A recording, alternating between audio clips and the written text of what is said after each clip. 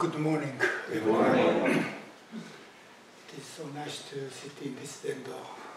Uh, I didn't sit here uh, almost two months.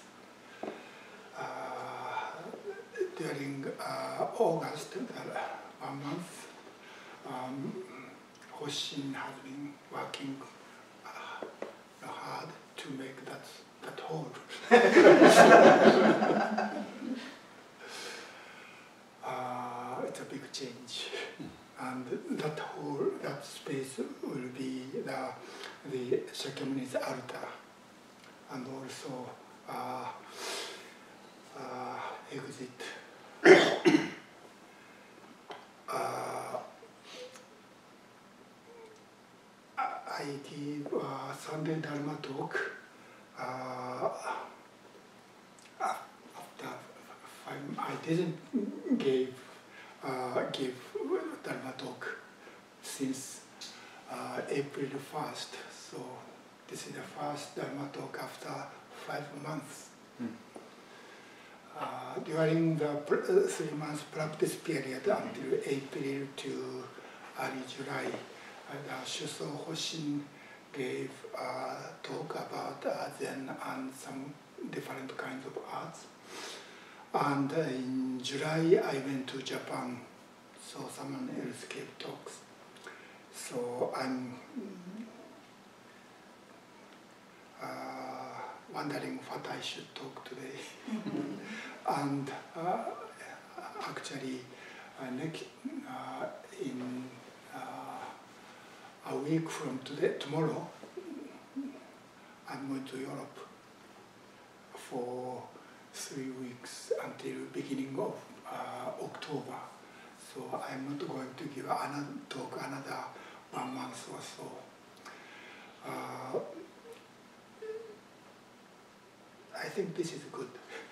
And this is a kind of uh, our our means uh, Hoko and my plan that I try to be how can I say reduce my presence and activity in this community. I mean at this temple, and uh, Hoko is uh, coming in.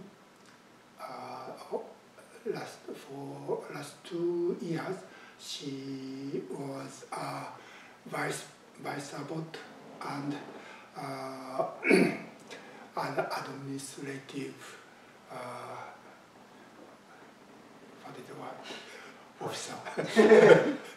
So he she has been very busy and working hard, but she now we have a, a office worker and she is now a full-time vice abbot, so she can focus on uh, teaching and practice with uh, the sangha.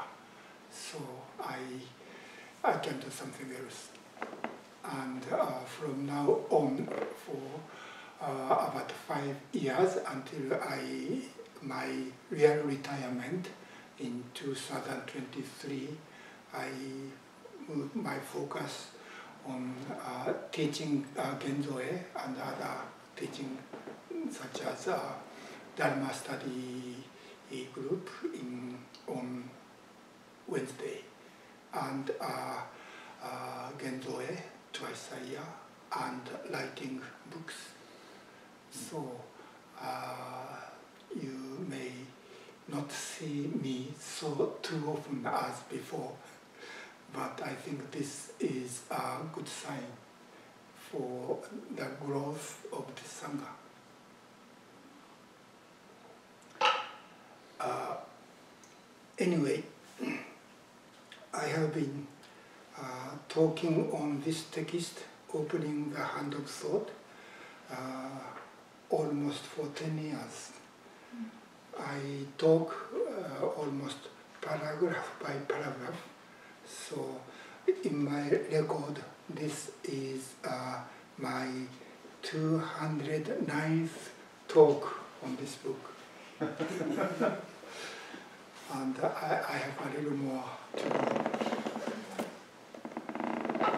So uh, in April, I finished uh, the section about vow and repentance.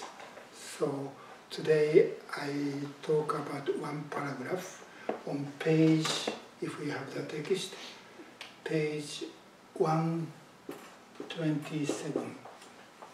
This is a new uh, section entitled Magnanimous Mind.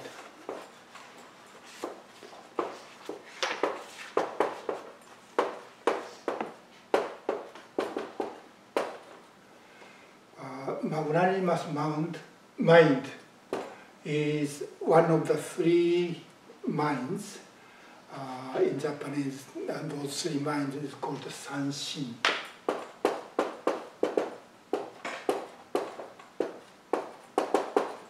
San is three, and Shin is mind. Uh, and uh, the name of this temple and also the name of this uh, community is called Sanshin Zen community. So this name, temple name, uh, came from those three minds, Sanshin. And other two are nurturing, I'm sorry, N.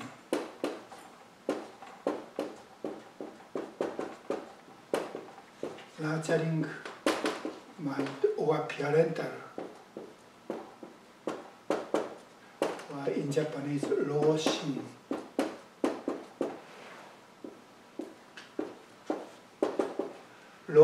Ro, literally means old. So, old or mature mind. And uh, I told one of them, each of them later. And third is kishin in Japanese.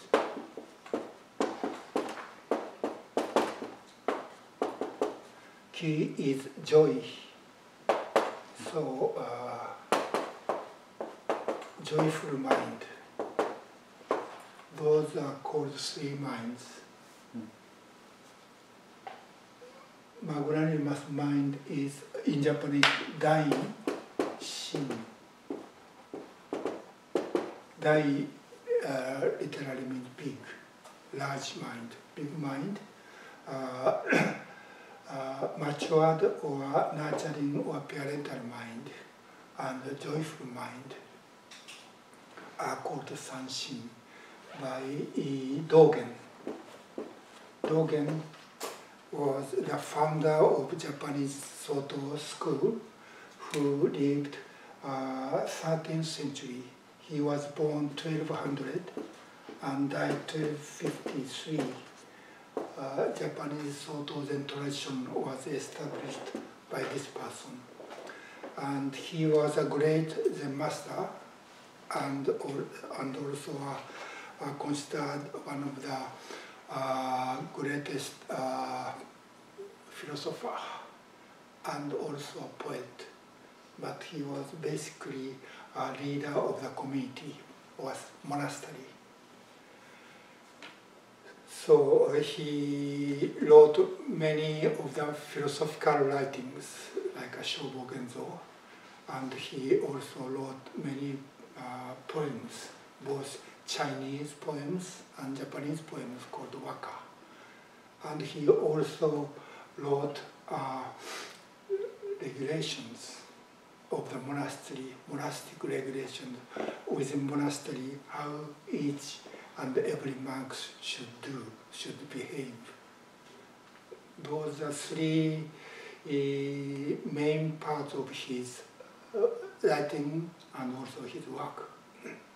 And these three minds appeared uh, one of the text Dogen wrote as uh, regulations. Uh,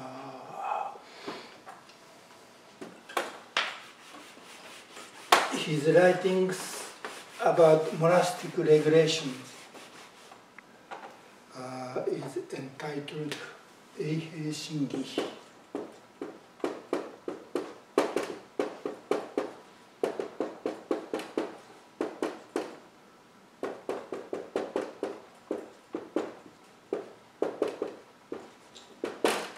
Eihei is his uh, is the name of his temple or monastery he established in Fukui Japan. And Shin is pure. And E is regulation. Regulation or rules or standard. And this uh, pure came from the uh, larger, longer uh, expression called uh, uh, shoujo. Dai, kai, shu.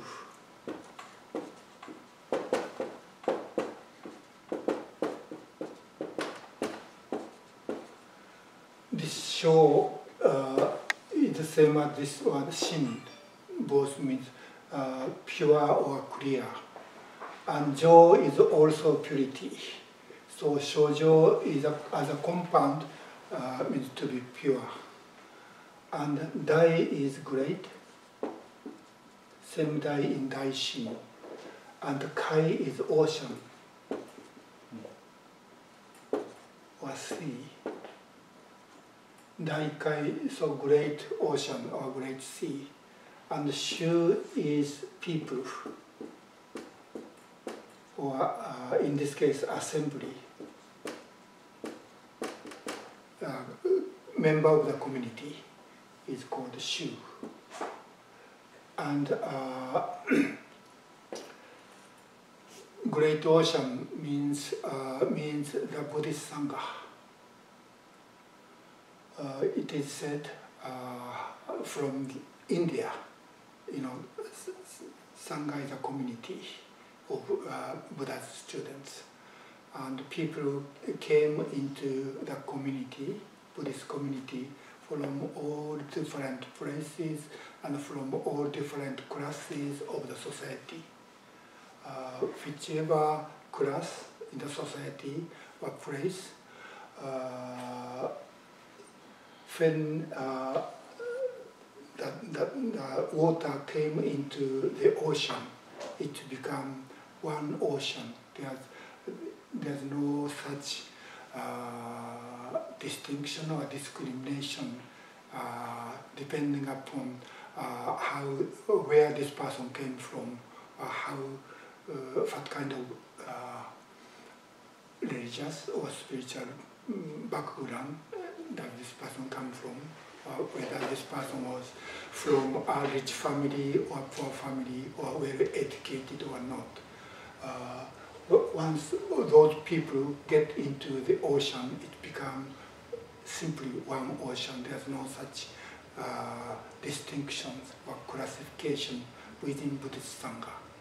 So that's why Buddhist Sangha was called Dai Kai Shu. And uh, the people in the community is free from uh, defilement. Defilement uh, in Buddhist uh, sense means uh, three poisonous minds, uh, greed, uh, anger or hatred, and ignorance. Those three poisonous minds made us dirty or defiled. But when once people uh, enter the ocean of Buddhist Sangha, you know, to become the member of the Sangha, they have to receive the precept. So by receiving the precept, those people are kind of protected from that kind of defilement. But of course, even when we receive the precept and take a vow, we make uh, uh, mistakes.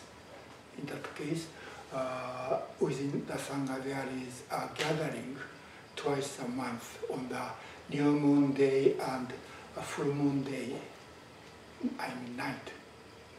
Uh, you know, in the lunar calendar, every, uh, each month, the first day of the month is new moon, and the middle of the month is full moon.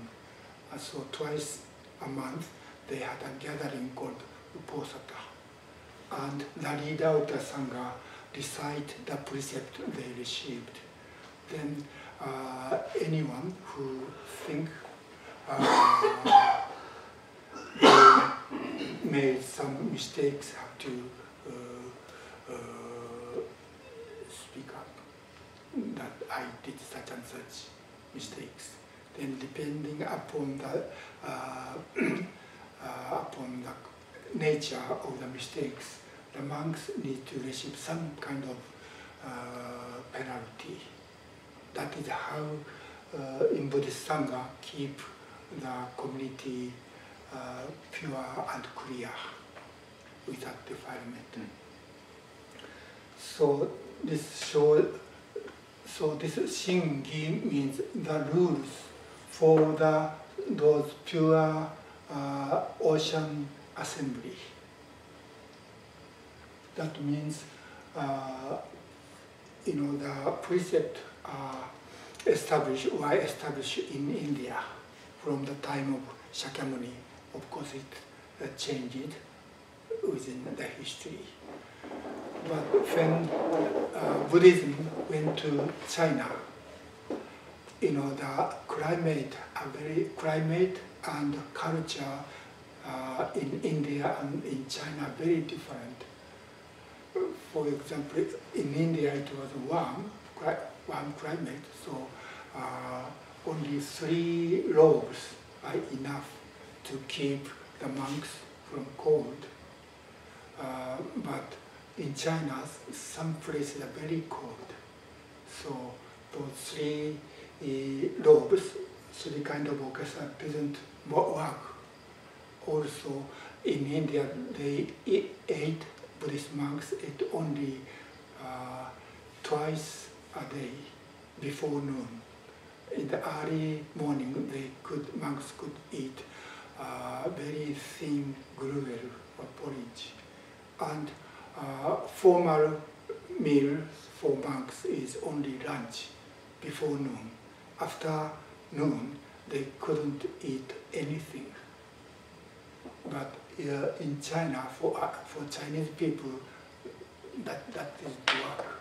So they made, they made, they had to uh, make changes or difference, make difference from Indian way of living.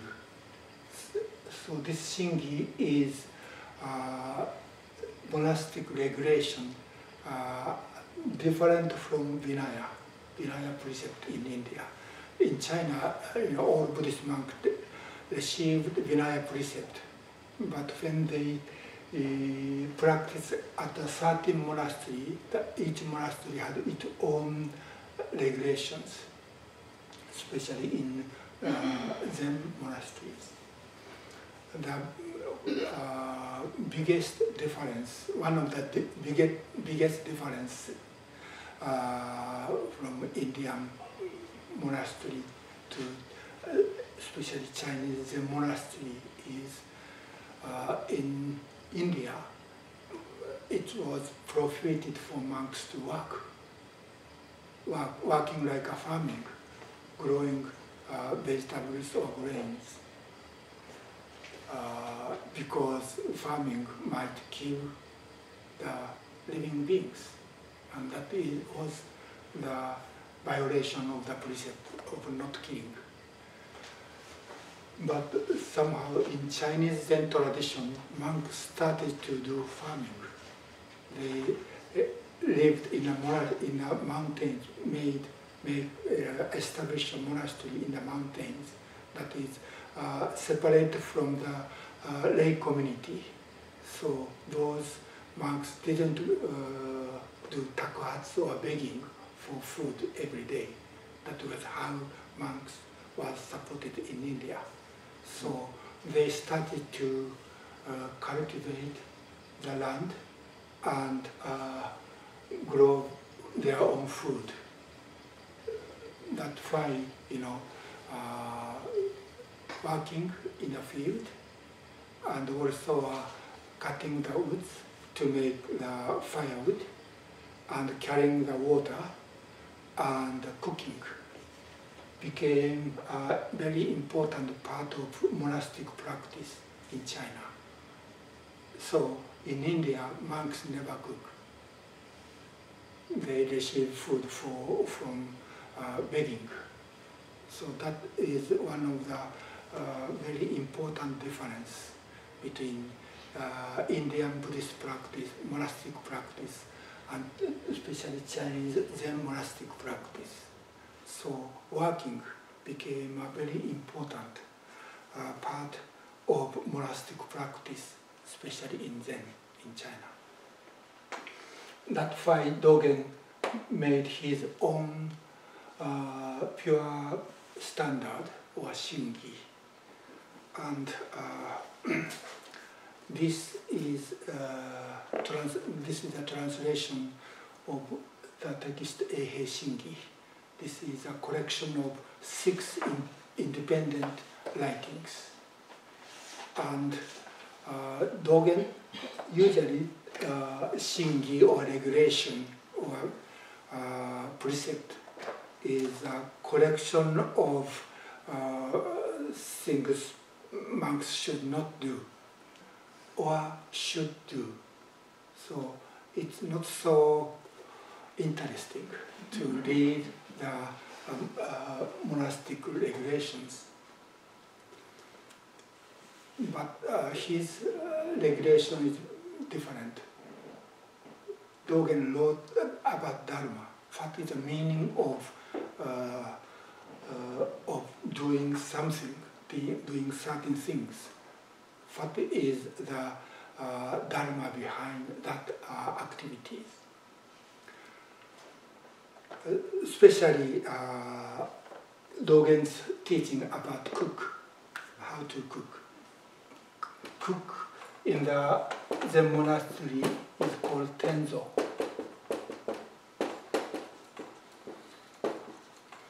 Uh, so even today we have Tenzo at each Zen center, the monasteries. And this is, Tenzo was a person who has a responsibility to prepare meals for the community. And as a part of Eihei Shingi, his monastic regulation, uh, Dogen wrote a Tenzo Kyokun.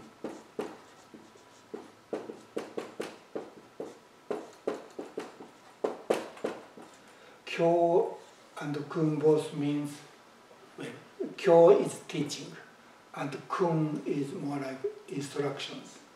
So Kyokun is a teaching or instructions for Tenzo. Uh, so Dogen discuss about uh, the routine of, uh, of the cook of each day. And also he uh, explained, not ex really explained, but express, uh, mentioned what is the meaning of this work. And as at the end of this text, Tenzo Kyokun, Dogen wrote about those three minds, uh, magnanimous mind or daishin, and uh, roshin or nurturing or parental mind, and uh, kishin or joyful mind. And Dogen said, all, not only Tenzo, but also all the uh, all people in the community needs to maintain these three uh, minds. Uh, magnanimous mind, uh, nurturing mind, and uh, joyful mind. So this is almost a conclusion of what Dogen taught about the work of Tenzo. And he says not only Tenzo, but all the community in the Sangha should maintain these three minds. So this is very, very practical teaching in monks' daily lives. But it's uh, really important to live together with others in harmony uh, for practice or for the Dharma. And uh, Uchiyama Roshi, my teacher, uh, wrote a commentary on this text Tenzo Kyokun, and that is uh, uh, this book, Refining Your Life. Refining, Refining Your Life is the original uh, title. Uh, I don't know what is the current title of this book, something like How to cook your life? how to How to how cook to your cook life? your life. Uh, once it was like a, uh, enlightenment from Zen kitchen, from Zen kitchen to enlightenment, or something like that. You know, the top publisher changed the title, which makes more interesting. but the, content is the same.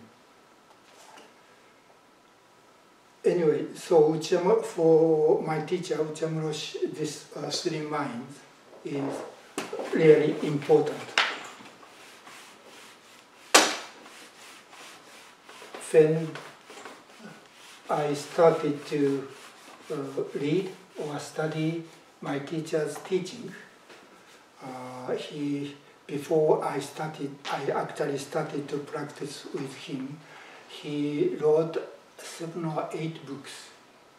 And at that time, I was a university student, and I, of course, I read all of his books, and almost all of, of his books, what he mainly or basically what he said or he taught as an important uh, part of his practice. That means our practice is uh,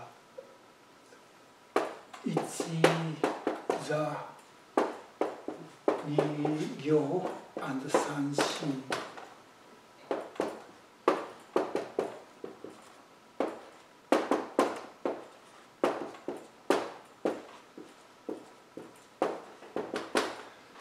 This is the expression which Uchiyama Roshi used uh, in his last lecture at Antaiji. He retired from Antaiji in 1975, many years ago. I think I was 20, 26 or 7 years old. So it was more than four, 40 years ago. Uh, but he said what he has been keeping uh, in mind while he was the teacher or abbot of Antaiji, uh, he thought these three are most important. So uh, he kind of uh, transmit these three points to his disciples. So since then, uh, after that I had to, have to, I think so, I had to come to this country and practice uh, without my teacher. So this teaching is my teacher. Mm. So uh, ichiza means za means sitting, one sitting, and nigyo is two practice practices, and these two practices is uh, vow and repentance. He said, our zazen, one, one sitting, our zazen has two sides or two aspects. One side, zazen is a practice of taking a vow, bodhisattva vow. And another side, uh, this just sitting is uh, repentance. So zazen is both vow and repentance. That is actually that is what he wrote in the previous uh, section of uh, this book. And so I talked about uh, vow and repentance. And uh, finally he said three minds. And this is uh, what he is going to talk, uh, discuss rest of this section until page uh, 137 for about 10 more pages.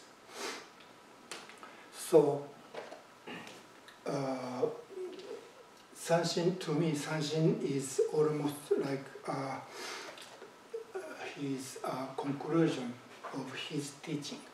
Of course, most important is Zazen, but uh, is how our Zazen practice works in our daily lives, whether we are living in a monastery or in uh, the uh, you know society, like a, a you know family or work, working work society, workplace, or society, uh, or the society in large. So when we live together with other people, we need uh, three minds. That is, uh, dog, uh, for Dogen, three mind is a teaching, uh, a very practical teaching for monks within the monastery. But Uchiyama Roshi said, this is not only for monks in the monastery. This means three minds, but uh, anyone or anyone who live with others, uh, whether it's a Buddhist Sangha or whatever uh, community, we need three minds.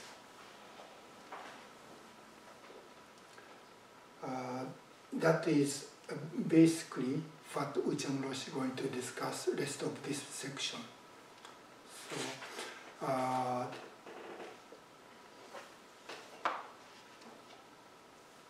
let me, it's already 10 to 11. this is the introduction of today's talk. but I think important thing is, uh, is what I said. So maybe I just read this and say a few things. Uh, so if you have this book, page 127, uh, the title of this uh, section is magnanimous mind. He talks first uh, about magnanimous or big mind. And this paragraph is introdu introduction of all those three minds. Uh, what it means concretely to live and work as a bodhisattva. Working, I'm sorry, waking, waking up to universal self.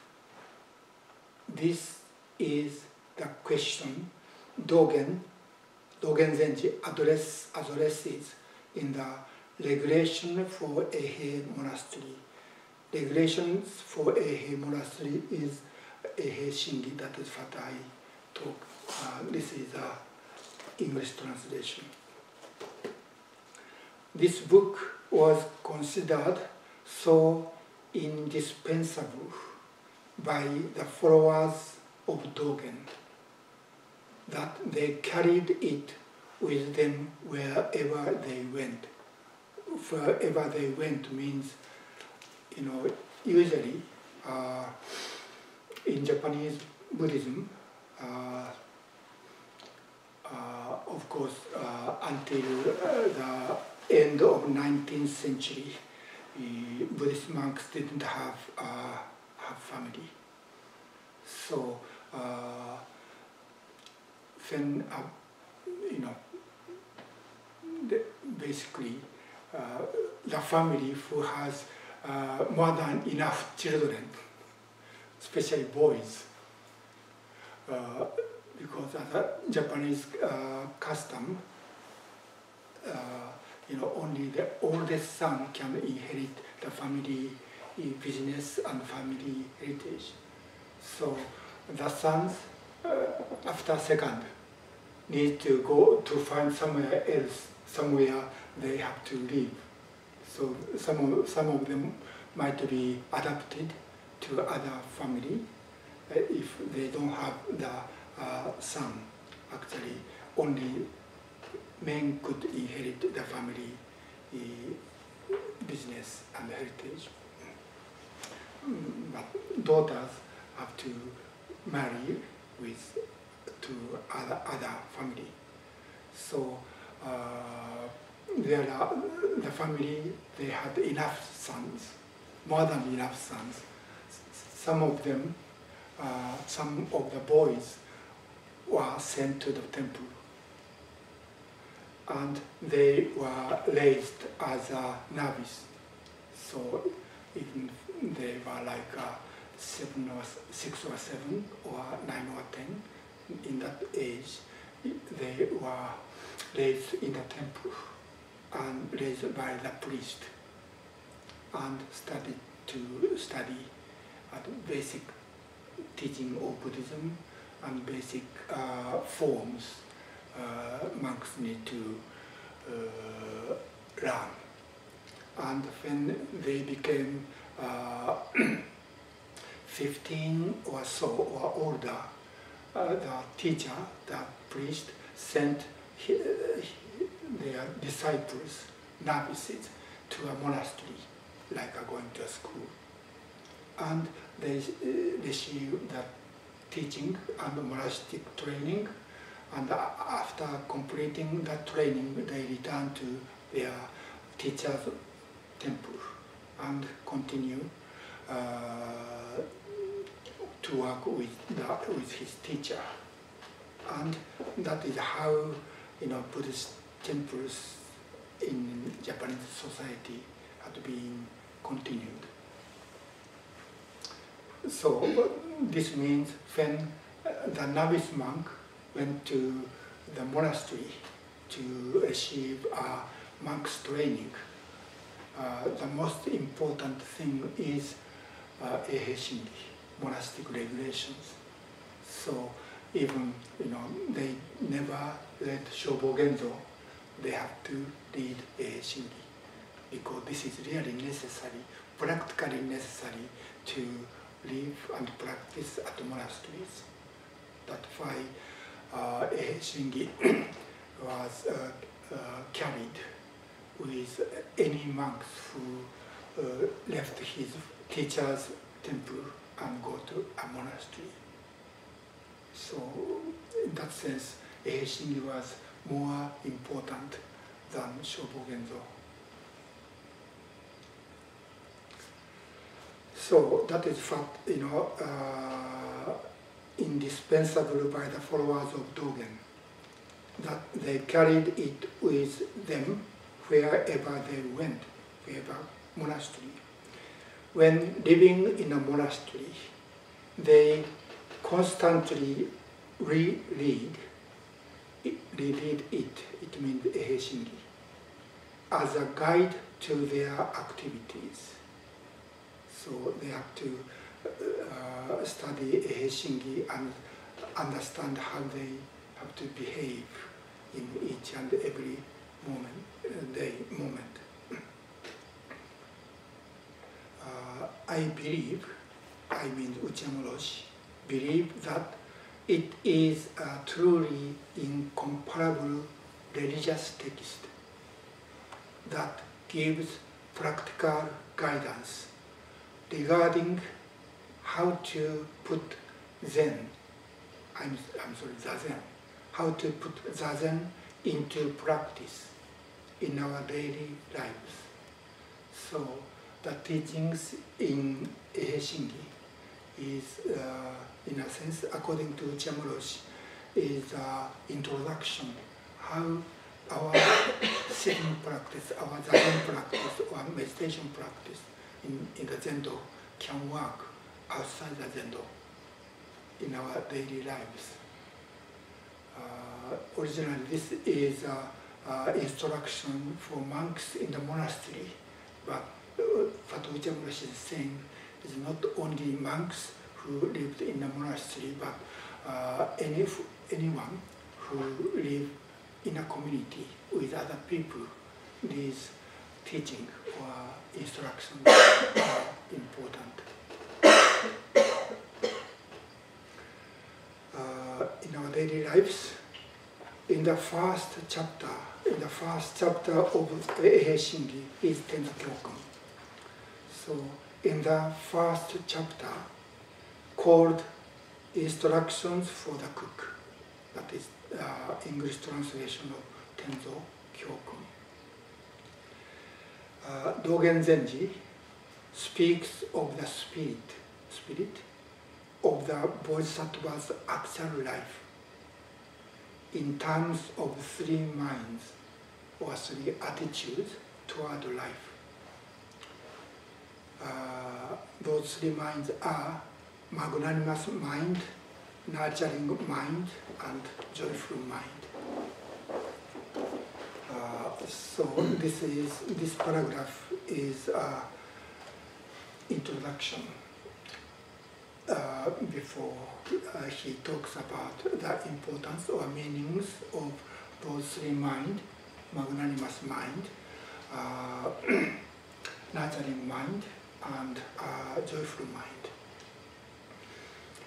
And uh, the reason why I, when I create uh, my own community, after uh, I finished my terms at MZMC, I practiced, I taught at uh, Minnesota Zen Meditation Center from 1993 to 97, 96 as a head teacher. And after, uh, 19, so in 96, I established uh, Sanshin Zen community and I put this word Sanshin as a name of the community. Uh, often or usually in American Zen centers, they use the name of the place uh, as a part of the Zen center called uh, San Francisco Zen Center or uh, there are many. Uh, but at that time we didn't have a place. Only only four people get together and decide make decision to to create a Zen community. So we didn't have place. So there's no way to put that place name. Uh, I was, we thought we were looking for a suitable place to locate this community. And we didn't know. That's why uh, we, I used this word sanshin. That means uh, and uh, that means a community in which uh, member of the community practice together with three minds. So to me, you know, this three mind is really important, and uh, that is why after I established this temple in Bloomington in 2003, first I taught, or uh, first we studied during for the Wednesday Dharma study, Dharma study group, uh, weekly Dharma study group.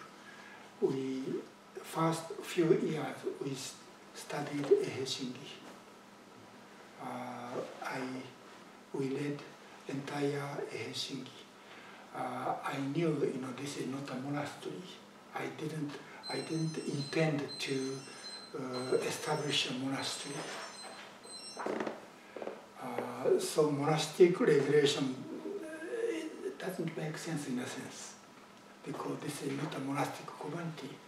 But I thought even though this is not a monastery, still, uh, because of this is not a monastery, in a monastery, uh, you know, there is a structure you know, the, the abbot who has uh, uh, ultimate authority and the uh, officers and teachers uh, who can uh, lead the practice and who could teach the training monks. And there are experienced monks, training monks, and young training monks. So there is a kind of hierarchy. And uh, you know, new monks were taught by the elders uh, if it's the good community based on Dogen's instructions. So, uh, you know, those uh, teachings in the Eihei Shingi is uh, actually transmitted within the monastic community generation after generation. But because this is not a monastery, there's no such people, such system. And I was only, I thought I was only teacher, and all others. There are, we have uh, several uh, ordained people. But uh, I think this is basically a new community. People are not familiar with monastic uh, structure or formal practice. Therefore, I, th I thought it more important that each person understand the split of monastic or community practice. That's why I decided to study the Eihei Shingi uh, in the very first of the history of this uh, temple. I'm not sure it was it worked well or not, but at least that was my intention. So uh, even now I think the teaching in Eihei Shingi and also Tenzo Kyokun are important. So if I finish this text uh,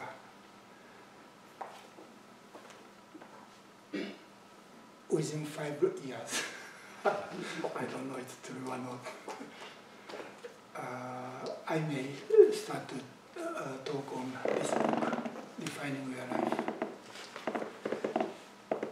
Well, this is what I have to say this morning. Any comments or questions or whatever you want to say? Please. Um, as I have sat um, with, one, um, with one sitting, two practices, three lines, I've noticed a porousness between them, and specifically within three lines. Mhm. Um, it seems one, it doesn't matter where you start, one leads to the other, which leads to the other, which leads to the other. I think actually these three are not three, these are actually one. one That was line. my question. that, that is how why I didn't translate. To me, shin cannot be a plural, but in English it has to be three minds, means three different minds. But actually, this sanshin is one three aspects of one mind. And, yeah, that was my question. Yeah. The other as, and the other comment I would have with that is that also as I sit with, as I sit with it, it seems that um, the one sitting, two practices, three minds, they all lead to each other. Yeah. To where you have the one sitting, it leads to two practices and three minds, or three minds to one sitting, Yeah. etc. It's all the one, Yeah. so. Thank you. Okay. Uh, anything else? Priya? Just a practical question. Which translations do you have there of the Eihei Shingi? Uh, Eihei this is a, trans, a English translation of Eihei Shingi Mhm. by Taigen Leighton and me, Ah, oh, okay. and uh, published from uh, uh, State University Press. Mhm. Uh, New York, I have Is to, it State University of New York Press? S-U-N-Y Press? Yes. S-U-N-N-Y. Oh. About when did that come out? Uh, it was published in 1996. Oh, okay. Taigen and I worked on translation of this text in Japan. Mhm. While Taigen stayed in Kyoto for three years, he came to my temple uh, twice a week. And we worked on translation of this text and Uchiyama Roshi Teisho on Bendowa.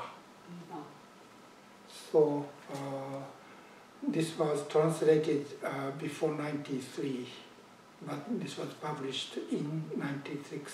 mhm. I believe we have copies upstairs for sale. Oh, I good. think there are some still. Okay, Yeah. Thank you. And this is a translation of Uchiyama Roshi's commentary on Tenzo Kyokun. Uh, as I said, the title had been changed, but this was uh, translated by one of my Dharma brothers, Tom Dyke's Tom Wright, Mhm. and this is still available with a different title. Okay, Thank you. anything else?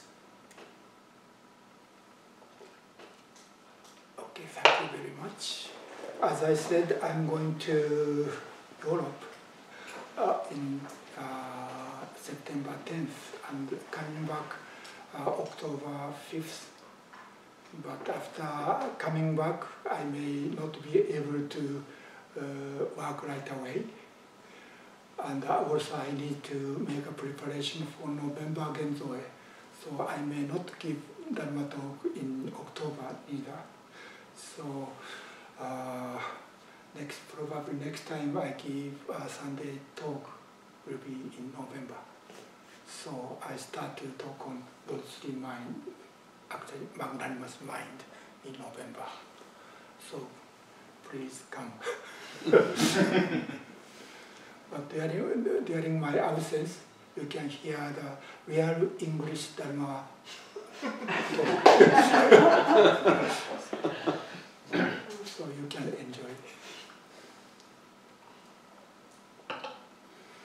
Okay, thank you very much.